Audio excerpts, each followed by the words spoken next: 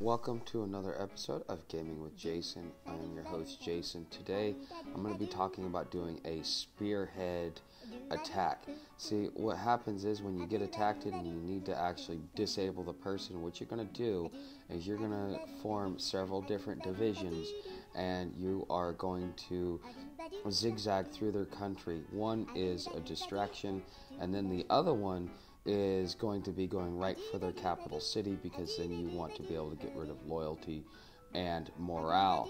So, this is just what I do when I feel that my back is against the wall and I'm evenly matched because they will be stuck on the defense while I am on the offense. It's a little food for thought. Thanks for watching. See you in the next video.